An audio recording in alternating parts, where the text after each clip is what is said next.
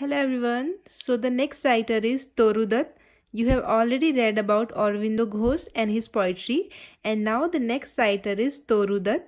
Uh, as the name sounds, she was a woman and uh, she was a Bengali translator. Translator, she used to translate Indian works into Bengali and she was a poet from India. She was Indian.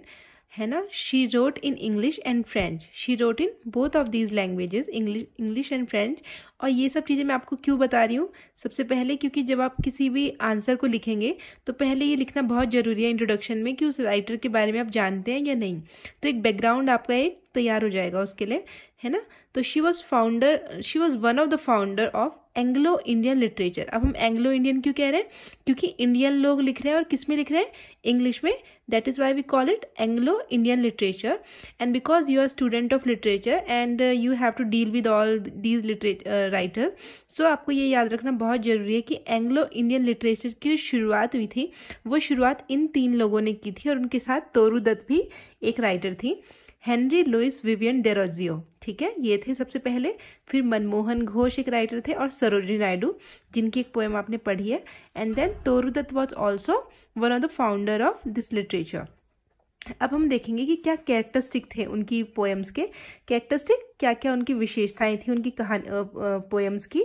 तो क्या थी? Sentiment मतलब बहुत भावनाओं से भरी रहती थी उनकी पोएम्स जो होती थी। सेंटीमेंट डिस्क्रिप्शन होते थे सेंसिटिव डिस्क्रिप्शन होते थे। मतलब कुछ जो हमारी यू you नो know, कुछ पढ़ने पर जब हमें हमें बहुत ही भावनात्मक रूप से कुछ वो चीज़ें फील होती है ना उनको हम कहते हैं सेंसिटिव लिरिसिज्म मतलब लिरिक की तरह होती है उनकी पोएम उनको आप गा सकते हो ऐसी होती हैं। ठीक है?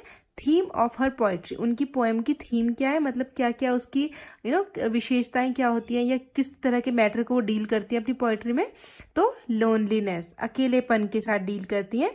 लॉन्जिंग लॉन्जिंग मतलब किसी चीज़ के लिए तड़पना, किसी चीज़ की इच्छा रखना, ठीक है? पैट्रियटिज्म देशभक्ति की भावना से भरी होती है उनकी पोएम नॉस्टैल्जिया मतलब किसी पुरानी यादों को याद करना, ठीक है?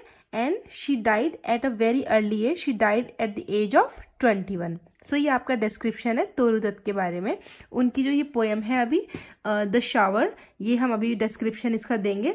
दोनों पोएम्स का एक साथ। और विंदो घोष की जो पोएम है वो और तोरुदत्त की जो पोएम है। और इसके साथ आपकी तीन पोएम्स फिनिश हो जाएँगी।